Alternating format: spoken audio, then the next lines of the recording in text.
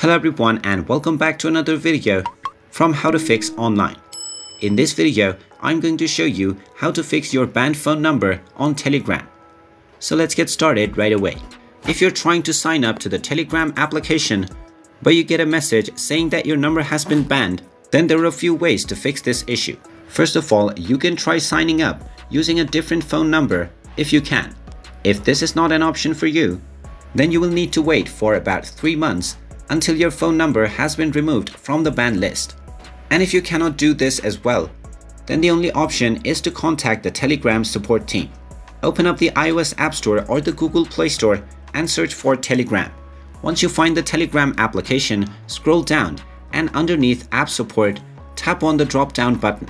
Now within this, you will find the email contact information for Telegram.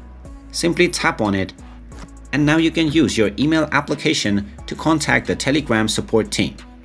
Now underneath subject, simply type in support with account. Then within the email body, you can simply explain that your account has been banned by a mistake. Make sure to also mention your phone number and then simply send this email to the Telegram support team. Once you send your email, you will be contacted by Telegram with instructions on how you can unban your number. You can follow those instructions and you can unban your account with Telegram.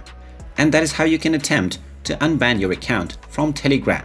If you find this video helpful, make sure you hit that like button and subscribe to our channel if you haven't done so already. Also ring that notification bell to never miss another update from us.